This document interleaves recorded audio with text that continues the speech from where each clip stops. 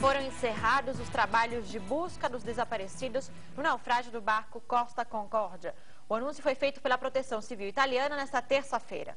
O mau tempo obrigou a suspender as tarefas de resgate dos 15 corpos que continuam desaparecidos depois que o cruzeiro naufragou no dia 13 de janeiro. A decisão foi tomada depois que responsáveis de diferentes grupos de resgate concordaram que não há condições de segurança para continuar com as buscas.